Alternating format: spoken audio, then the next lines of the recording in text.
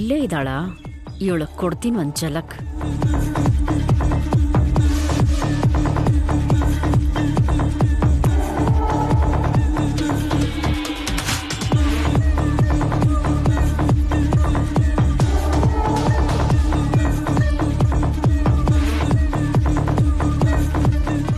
ಯಶ್, ಈ seat belt ಬರ್ತಾ ಇಲ್ಲ. ಸ್ವಲ್ಪ ಹೆಲ್ಪ್ ಮಾಡ್ತೀಯಾ? ಸೀಟ್ ಬೆಲ್ಟ್ ಹಾಕೊಳ್ಳೋದಕ್ಕೂ ಬರೋದಿಲ್ವಾ ನಿನಗೆ?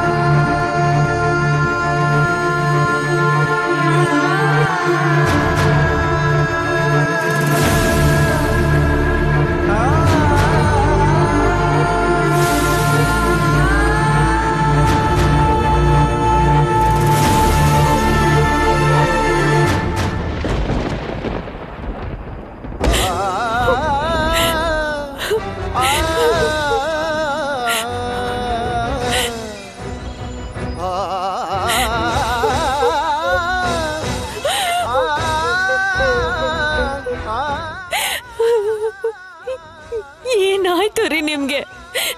ಯಾಕೆ ಹೀಗೆ ಬದಲಾಗಿದ್ದೀರಾ? ನನ್ ನನ್ನ ಜೊತೆ ಯಾಕೆ ಹೀಗೆ ಬಿಹೇವ್ ಮಾಡ್ತಿದ್ದೀರಾ? ಒಂದ್ರ ಮೇಲೆ ಒಂದು ಸುಳ್ಳು ಹೇಳ್ತಾನೆ ಇದ್ದೀರಾ? ನನ್, ನನಗೆ ಅರ್ಥ ಆಗ್ತಿದೆ. ಯಾಕೆ ಇವರು ಹೀಗೆ ಸುಳ್ಳು ಹೇಳ್ತಿದ್ದಾರೆ?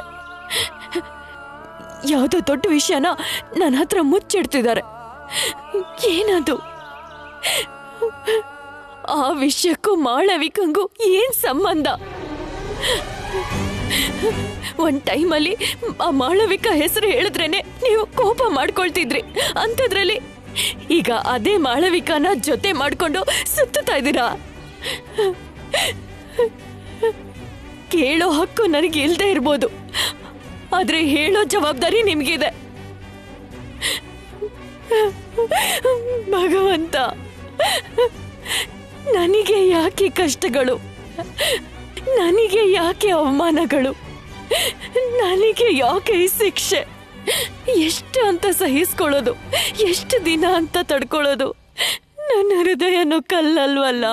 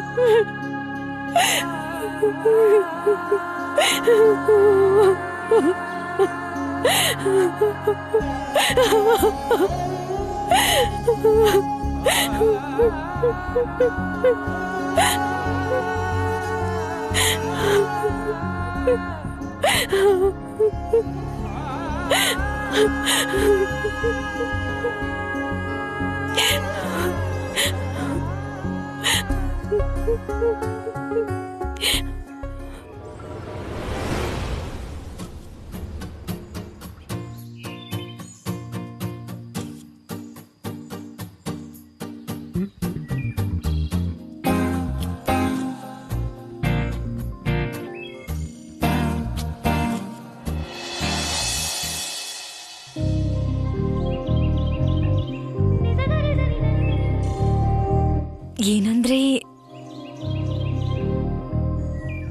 ಏನಂದ್ರೆ ವಸಂತ್. ನಿಮ್ಮನ್ನೇ.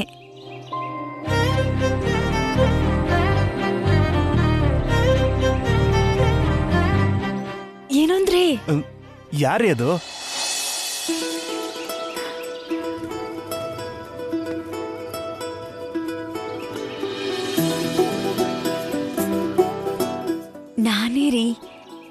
ನಿಮಗೆ ಹೆಂಡತಿ ಆಗೋಳು ಚಿತ್ರ.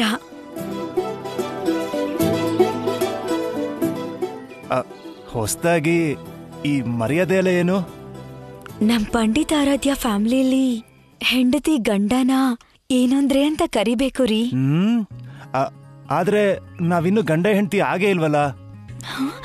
ನಿಶ್ಚಿತಾರ್ಥ ಆಗೋದ್ರೆ ಅರ್ಧ ಮದ್ವೆ ಆದಂಗೆನೆ. ಇಷ್ಟೂ ಗೊತ್ತಿಲ್ವಾ? ಆ, ಗೊತ್ತು ಗೊತ್ತು ಗೊತ್ತು ಗೊತ್ತು.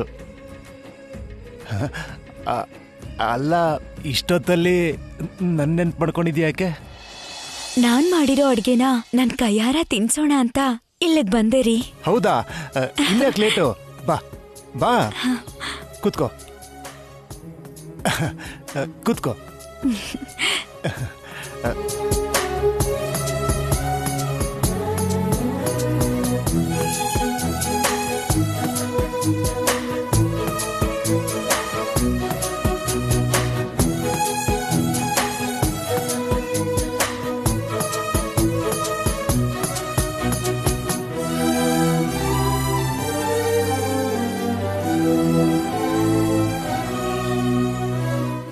ಏನೇ ಹೇಳು ಚಿತ್ರ ನಿನ್ ಕೈ ಅಡಿಗೆ ಅಂತೂ ಸೂಪರ್.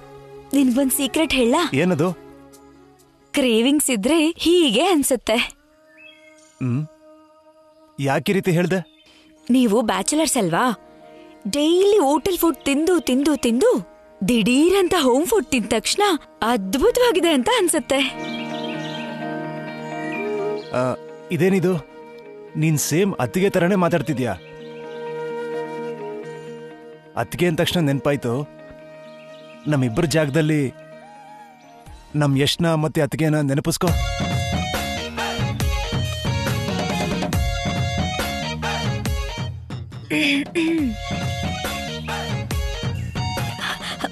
ಏನಂದ್ರೆ? ಏನು? ಟಿಫನ್ ತಿನ್ನಿ ತಣ್ಣಗಾಗೋಗುತ್ತೆ. ತಣ್ಣಗಾದ್ರೂ ಪರವಾಗಿಲ್ಲ. ಹೊಟ್ಟೆ ಹಸಿದ್ರೆ ಆಗ ತಿಂತೀನಿ ನಾನು. ಅದಾಗಲ್ಲ ರೀ. ಅಂದ್ರೆ? ನೀನ್ ಹೇಳಿದ ತಕ್ಷಣ ಮಾಡ್ಬೇಕಾ? ನೀನ್ ತಂದಿದ್ದನ್ನ ತಿನ್ಬೇಕಾ? ನೀವು ತಿನ್ನೋದನ್ನ ನಾನ್ ತರ್ಬೇಕಾ? ಎಲ್ಲ ನಿಮ್ಮಿಷ್ಟನೇನಾ ಇಲ್ಲ ಅಂದ್ರೆ ನಿನ್ನಿಷ್ಟನಾ ಏನ್ ನಿನ್ ಉದ್ದೇಶ? ನಿಮ್ಮ ಮಾತಿನ ಅರ್ಥ ಏನು? ಇಲ್ಲಿ ನೋಡು ನನಗೆ ಕೋಪ ಮಾತ್ರ ಬರ್ಸ್ಬೇಡ. ನನಗೂ ಕೋಪ ಬರ್ಸ್ಬೇಡಿ. ಮಿಸ್ಸಸ್ ನ್ಯೂಸೆನ್ಸ್ ಮಿಸ್ಟರ್ ಆರ್ಗೆಂಟ್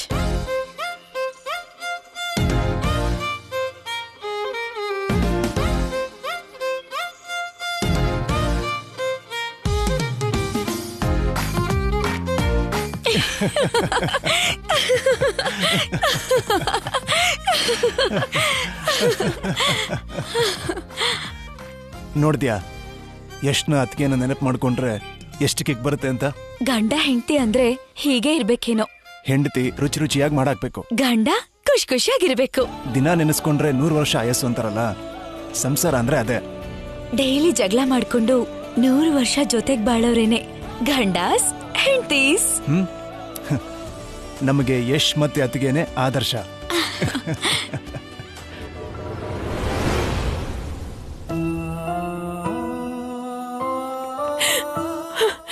ಅಮ್ಮ ಕಾಫಿ.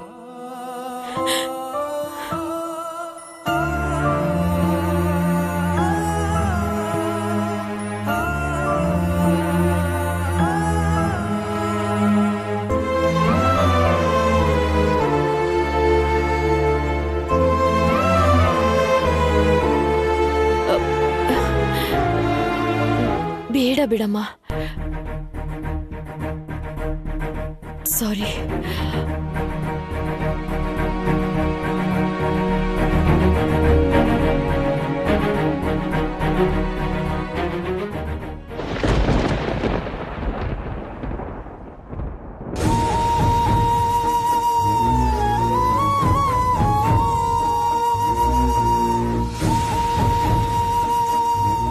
ವೇದ इवत् क्लिनिक बेग बंदिया याके याकिया तले नोय्तिया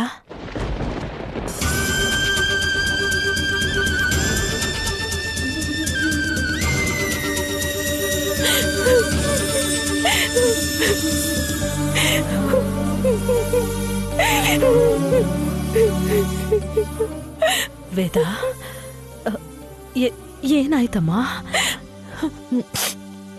ಏನಿಲ್ಲಮ್ಮ ಏನಿಲ್ಲ. ನೀನು ಊಟ ಮಾಡಿದ್ಯಾ? ಟ್ಯಾಬ್ಲೆಟ್ ತಗೊಂಡ್ಯಾ? ಡಾಕ್ಟರು ನಿನಗೆ ಶಕ್ತಿ ಬರೋದಿಕ್ಕೆ ಹೊಸ ಟಾನಿಕ್ ಕೊಟ್ಟಿದ್ರು. ಕುಡಿದ್ಯಾ? ಅದು ನಾನು ಡಾಕ್ಟರಿಗೆ ಫೋನ್ ಮಾಡಿ ಮಾತಾಡ್ದೆ ಅಮ್ಮ ನೀನ್ ಬೇಗ ಹುಷಾರಾಗ್ತಿಯಂತೆ. ನೀನ್ ಆದಷ್ಟು ಬೇಗ ಎದ್ದು ಓಡಾಡ್ತಿಯಂತೆ. ಆಮೇಲೆ ನಾನು ಅವ್ರ ಹತ್ರ ಮಾತಾಡ್ತಾ ಇರ್ಬೇಕಾದ್ರೆ ವೇದ ವೇದ ವೇದ. ಇರು. ಏನಾಯ್ತು ಕಂದ? ಯಾಕೆ ಟೆನ್ಷನ್ ಮಾಡ್ಕೊಂಡಿದ್ಯಾ ಹ? ಏನಾಯ್ತು ಹೇಳು. ಅಯ್ಯೋ ಏನೂ ಇಲ್ಲ ಅಮ್ಮ ಏನೂ ಇಲ್ಲ. ನಾನ್ ನಿನ್ನನ್ನ ಹೆತ್ತಿರೋ ತಾಯಿ ಕಣೆ. ನಿನ್ ಭಾವನೆನ ಅರ್ಥ ಮಾಡ್ಕೊಳಲ್ವಾ ಹ? ಏನಾಯ್ತೆ? ಕ್ಲಿನಿಕಲ್ಲಿ ಕೆಲಸ ಜಾಸ್ತಿನಾ? ಮನೇಲೇನಾದ್ರೂ ಕಿರಿಕಿರಿನಾ? ಬೇರೆ ಏನಾದ್ರೂ ಸಮಸ್ಯೆನಾ? ಹೇಳು ವೇದ. ಅಮ್ಮ ಕಡೆ ನಾನು.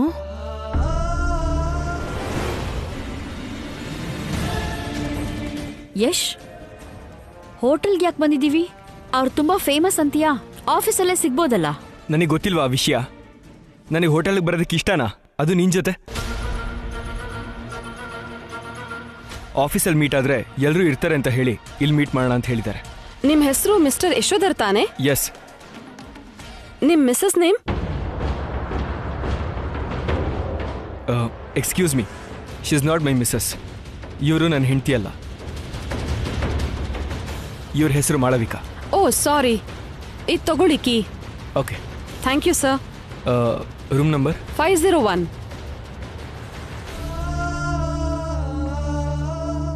Veda Veda. ಇಲ್ಲಮ್ಮ ಆ ಥರ ಏನೂ ಇಲ್ಲ. ನೀನು ಹೇಳ್ದೆ ಹೋದ್ರೆ ನನಗೆ ಗೊತ್ತಾಗಲ್ಲ ಅಂದ್ಕೊಂಡ್ಯಾ ನೀನಿವಾಗ ಇವಾಗ ಮಾಡ್ಕೊಳ್ತಿರೋ ಟೆನ್ಷನ್ಗೆ ಕಾರಣ ಏನು ಅಂತ ಹೇಳಲಾ? ಅಳಿ ಅಂದ್ರು. ಹೌದಾ? ಅಳಿಯಂದ್ರು ಏನ್ ಮಾಡ್ತಿದ್ದಾರೆ ಯಾಕೆ ಮಾಡ್ತಿದ್ದಾರೆ ನನಗೆಲ್ಲ ಗೊತ್ತಮ್ಮ. ನನ್ನ ಆಕ್ಸಿಡೆಂಟ್ಗೆ ಕಾರಣ ಆದೋರ್ನ ಹೇಗಾದ್ರೂ ಮಾಡಿ ಹುಡುಕಿ ಜೈಲಿಗೆ ಕಳಿಸ್ಬೇಕು ಅನ್ಕೊಂಡಿದ್ದಾರೆ. ಹಾ, ಅದೇ ಇವಾಗ ಅಳಿಯಂದ್ರ ಆಲೋಚನೆ. ಅದಕ್ಕೆ ತುಂಬಾ ಹಠ ಹಿಡ್ದಿದ್ದಾರೆ. ಆ ಕೆಲ್ಸದ ಮೇಲೆ ಪೂರ್ತಿಯಾಗಿ ದೃಷ್ಟಿ ಇಟ್ಟಿದ್ದಾರೆ. ಒಂದು ಚಾಲೆಂಜ್ ಆಗಿ ತಗೊಂಡಿದ್ದಾರೆ.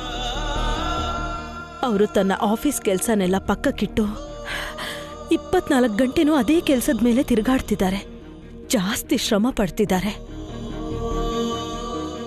ಹೆಚ್ಚು ಶ್ರಮ ಪಡೋ ಗಂಡನ್ನ ನೋಡಿದ್ರೆ ಯಾವ ಹೆಂಡ್ತಿಗಾದ್ರೂ ಕಂಗಾಲು, ಆತಂಕ ಆಗ್ದೇ ಇರುತ್ತಾ ಹೇಳು? ಅದಕ್ಕೆ ನಿನ್ ಗಂಡ ಪಡೋ ಟೆನ್ಷನ್ನ ನೀನು ಪಡ್ತಿದ್ಯಾ, ಅಲ್ವಾ?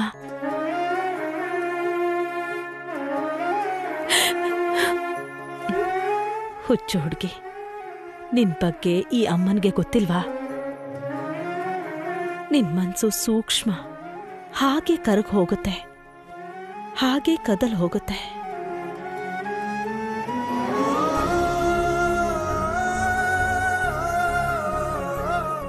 ವೇದ, ಇಲ್ಲಿವರೆಗೂ ನಿನಗೆ ಹೇಳ್ದೆ. ನನ್ ಒಳಗಿಟ್ಕೊಂಡಿರೋ ಒಂದು ರಹಸ್ಯನ ಹೇಳ. ಹೇಳಮ್ಮ, ನಿನಗೆ ಯಶೋಧರ್ಗೆ ಕೊಟ್ಟು ಮದುವೆ ಮಾಡೋದು ನನಗಿಷ್ಟ ಇರಲಿಲ್ಲ. ಮೊದಲನೇ ಹೆಂಡತಿ ಬಿಟ್ಟು ಹೋಗಿದ್ದಾಳೆ. ಇಬ್ರು ಮಕ್ಕಳು ತಂದೆ. ಯಾಕೋ ನನ್ನ ಮನಸ್ಸು ಒಪ್ಕೊಳ್ಳಿಲ್ಲ. ಆದರೆ ಖುಷಿಗೆ ಅಮ್ಮ ಆಗಬೇಕು ಅನ್ನೋ ನಿನ್ನ ಬಯಕೆ ನೋಡಿದ ಮೇಲೆ ಇಲ್ಲ ಅಂತ ಹೇಳೋಕ್ಕಾಗಲಿಲ್ಲ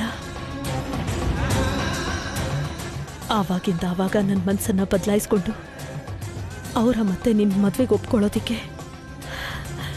ಒಂದೇ ಒಂದು ಕಾರಣ. ಏನ್ ಗೊತ್ತಾ? ಖುಷಿ ಜೊತೆ ನೀನ್ ಬೆಳೆಸ್ಕೊಂಡಿರೋ ಸಂಬಂಧ. ಆ ಕ್ಷಣದಲ್ಲಿ ಮದುವೆ ಮಂಟಪದ ಮೇಲೆ ಖುಷಿನ ನಿನ್ ಮಡಲ್ ಮೇಲೆ ಕೂರಿಸ್ಕೊಂಡು ಯಶೋಧರ್ ಜೊತೆ ನೀನು ಆನಂದವಾಗಿ ತಾಳಿ ಕಟ್ಟಿಸ್ಕೊಂಡ ಆ ಕ್ಷಣ. ನಿನ್ನಲ್ಲಿ ನನ್ನ ಮಗಳು ಕಾಣಿಸ್ಲಿಲ್ಲ. ಒಬ್ಳು ತಾಯಿ ಕಾಣಿಸ್ಕೊಂಡ್ಳು. ಈ ಲೋಕದಲ್ಲಿ ಯಾವ ಹೆಣ್ಣಾದ್ರೂ ಮದುವೆ ಆದ್ಮೇಲೆ ತಾಯಿ ಆಗ್ತಾಳೆ. ಆದ್ರೆ ನೀನು? ಮೊದಲು ತಾಯಿಯಾಗಿ ಆಮೇಲೆ ಮದ್ವೆ ಮಾಡ್ಕೊಂಡೆ. ತಾಯಿ ಸ್ಥಾನ ಪಡ್ಕೊಂಡ್ಮೇಲೆ ಹೆಂಡತಿ ಸ್ಥಾನಕ್ಕೆ ಹೋದೆ. ಆದ್ರೆ ನಿನ್ನ ಮದುವೆ ಆದಮೇಲೆ, ಮದುವೆ ಆಗಿ ಇಷ್ಟು ದಿನ ಆದಮೇಲೆ, ಇವಾಗ ಇವಾಗ ನನಗನ್ನಿಸ್ತಿದೆಯಮ್ಮ? ಎಂಥ ಗ್ರೇಟ್ ಹೆಂಡತಿ ಸ್ಥಾನ ನಮ್ಮ ನಿಂದು?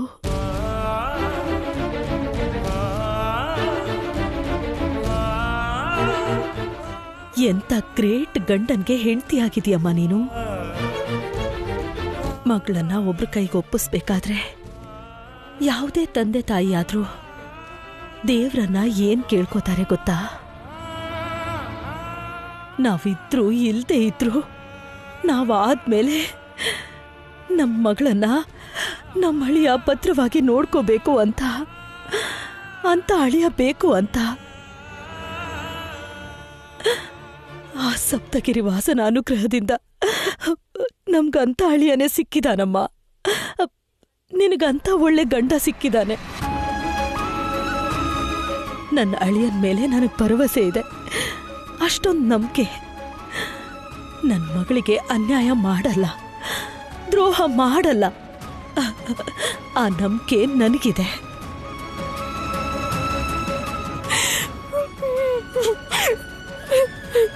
ವೇದ ವೇದ.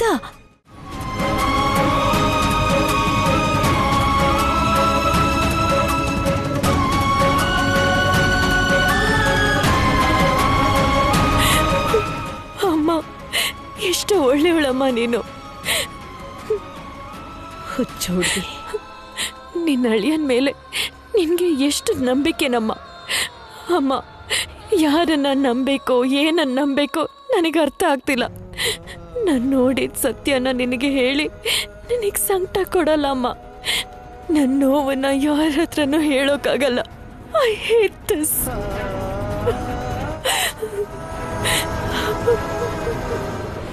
Yashodhar can I ask you something ಕೇಳು. ನಾನು ನಿನ್ನ ವೈಫ್ ಅಲ್ಲ ಅಂತಿದ್ಯಲ್ಲ ಯಾಕೆ? ನಾನು ನಿನ್ನ ಹೆಂಡತಿ ತಾನೆ. ಅದು ಅವಾಗ. ಇವಾಗಲ್ಲ. ಇವಾಗ ನನ್ನ ಹೆಂಡತಿ ಶ್ರೀಮತಿ ಪಂಡಿತಾರಾಧ್ಯ ವೇದಶ್ವಿನಿ.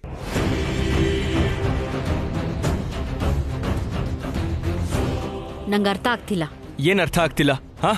ನನ್ ಮೇಲೆ ಇಷ್ಟು ದ್ವೇಷ ಇದ್ರು ಕೂಡ ನನ್ಗೋಸ್ಕರ ಇದನ್ನೆಲ್ಲ ಯಾಕೆ ಮಾಡ್ತಿದ್ಯಾ? ಏ wait wait wait wait wait ನಾನು ನಿನಗೆ ಎರಡು ವಿಷಯ ಹೇಳಬೇಕು.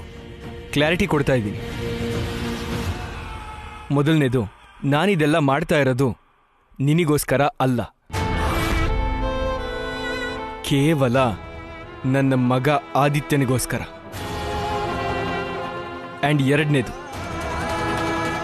ನಿನಗೂ ನನಗೂ ಮಧ್ಯ ಇದ್ದ ಗಂಡ ಹೆಂಡತಿ ಸಂಬಂಧ ಮುಗ್ದೋಗಿರೋ ಒಂದು ಅಧ್ಯಾಯ.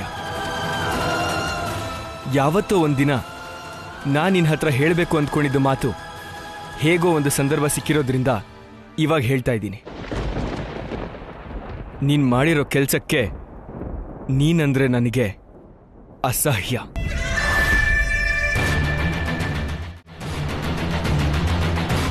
ನಿನ್ನ ಜೊತೆ ಮಾತಾಡ್ತಿದ್ದೀನಿ ಅಂದರೆ ನಿನ್ನ ಜೊತೆ ಓಡಾಡ್ತಿದ್ದೀನಿ ಅಂದರೆ ಕೇವಲ ಕೇವಲ ನನ್ನ ಆದಿಗೋಸ್ಕರ, ಅವನ ಸಂತೋಷಕ್ಕೋಸ್ಕರ ಅವನಿಗೆ ಕೊಟ್ಟಿರೋ ಮಾತಿಗೋಸ್ಕರ.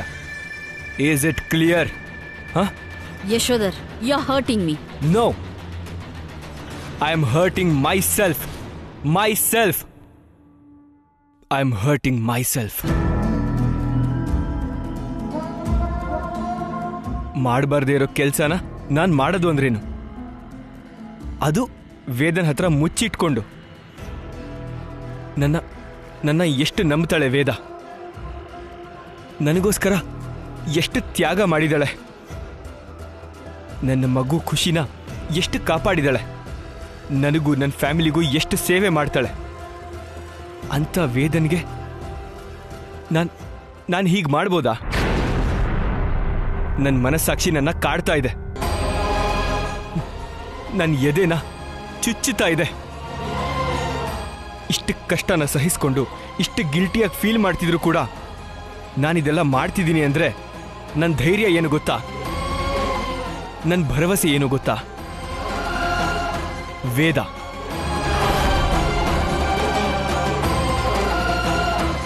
ವೇದ ಒಳ್ಳೆತನನೇ ನನ್ನ ಧೈರ್ಯ.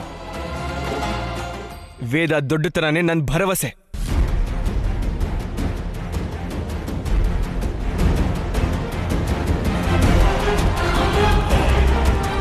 ಮಿಸ್ಟರ್ ಯಶೋಧರ್ ವೇದ ಅಂದರೆ ಯಾರು?